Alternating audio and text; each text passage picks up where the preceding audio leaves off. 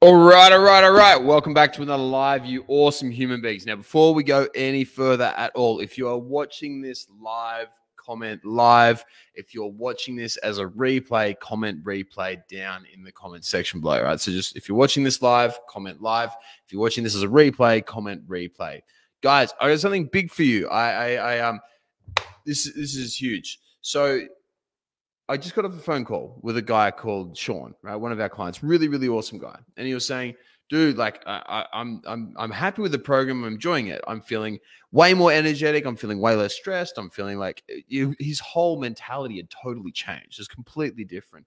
Way less stressed. Everything was getting to him way, way less. He was way more calm. He was feeling really, really good. But he's like, but I'm not losing as much weight as what I would have liked. You know, I'm, I'm X amount of time in, and I still haven't lost as much weight as what I thought. So I'm happy in some respects, but I'm not happy in others. Uh, and he said, I'm starting to self doubt myself, and, I, and I'm starting to lose motivation and I'm starting to feel negative about the whole process.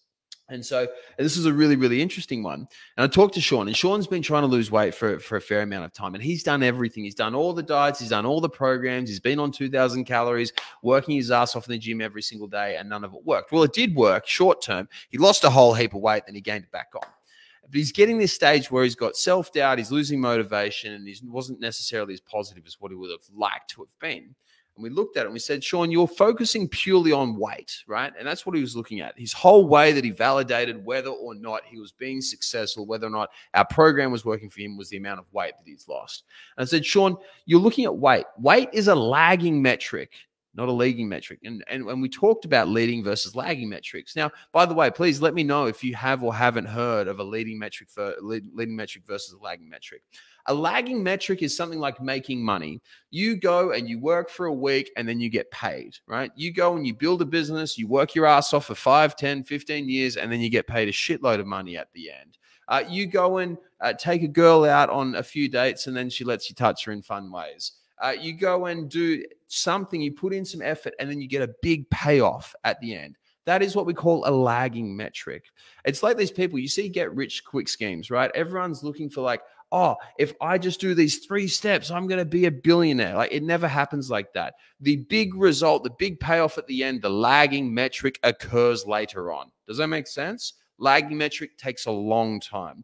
Things like weight loss. Weight loss doesn't happen instantly. You don't eat a fucking salad and lose 10 kilos, right? You go and you diet consistently for three, six, nine, 12 months, and then you end up losing a substantial amount of weight, and then you keep that weight off, right? A lot of people only track lagging metrics, and this is going to fuck with your confidence and it's going to fuck with your motivation because you're going to be in business for two weeks. You've just opened up your store. You've just started selling stuff, and you're like, "Where's my Lamborghini?" Right? Literally, there's a meme in crypto which is "When Lambo." Right? Because people are like, they're just tracking. It's all about the money. That's all they're focusing on. It's all about money. It's all about losing weight. It's all about getting sex. Fuck that. Let the lagging metrics lag. Let them be. What we need to focus on is leading metrics. Leading metrics are the things which to tell us whether we're going to be successful or not, whether we're going to achieve a lagging metric or not. Tracking just lagging metrics is fucking dumb because it takes a really, really long period of time. Okay.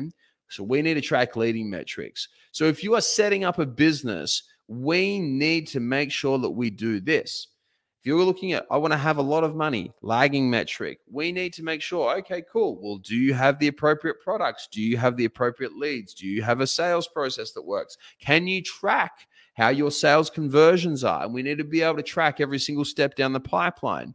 If you want to lose 20 kilos of weight, are you dieting correctly? Are you training correctly? Are you taking the appropriate supplements? Are you sleeping well? Are you looking after your nervous system, your hormones, your hierarchy of health?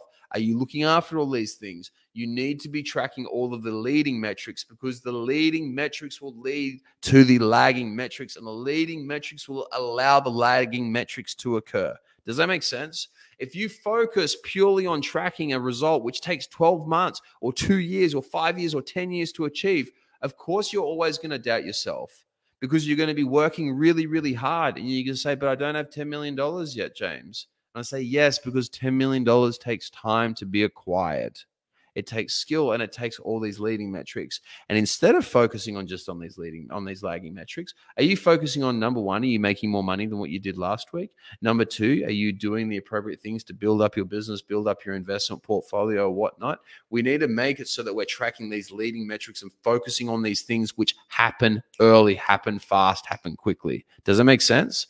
So I talked with Sean about this. And instead of us focusing on his lagging metric of weight, we focus on all the leading metrics. And so we found out that Sean is now feeling a whole heap better. He's not losing his shit, not losing his temper. He's feeling more energetic. He's having a heap of wins, which are leading metrics. And that's why it's important to track these things because otherwise we lose motivation. We get caught up in the negative. We start doubting ourselves and start doubting whether what we're doing is actually going to work. Okay.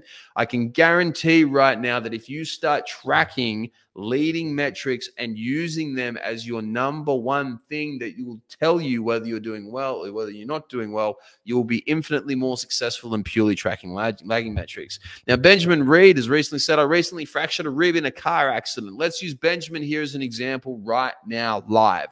Benjamin's lagging metric will be Is my rib 100% healed because eventually that'll happen, but it could be many weeks or many months depending on how that's gone.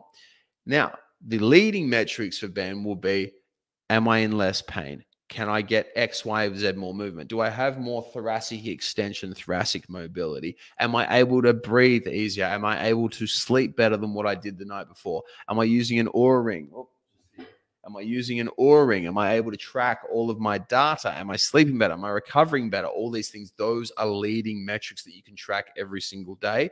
But purely using the lagging metric of is my rib 110% healed is not going to be helpful whatsoever. Does that make sense, guys? So, moral of the story always track leading metrics, track lagging metrics, but don't base your decision making upon them. Always use the leading metrics for that because you're going to be way, way better. Now, I know this isn't sexy. I know this isn't fun. This isn't like pop a little pill or do this one little hack. This one weird trick will make everything okay. But tracking your data and tracking your metrics is imperative. It is, essential. You cannot miss out on this. And I can't emphasize it enough.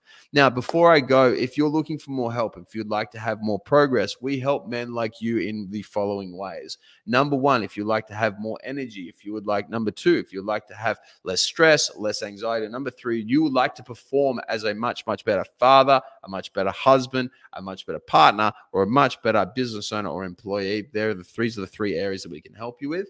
And here are the following ways in which I can help you right now. Number one, if you do not have access to the hierarchy of health, you need to have access to this. It is essential, and every single human being alive must have this. If you don't have access to the hierarchy of health, reach out and I'll give it to you right now as a part of our welcome pack. Number two, if you have not seen our podcast already, you should look it up. It's called High Performance Conversations. This is where I talk with people around me who are incredible human beings and are doing exceptionally well in life. And you should go and have a look at that because the High Performance Conversations podcast is fucking dope, if I do say so myself. And you're going to get a hell of a lot of wins out of that. So that's the second, second thing you should do.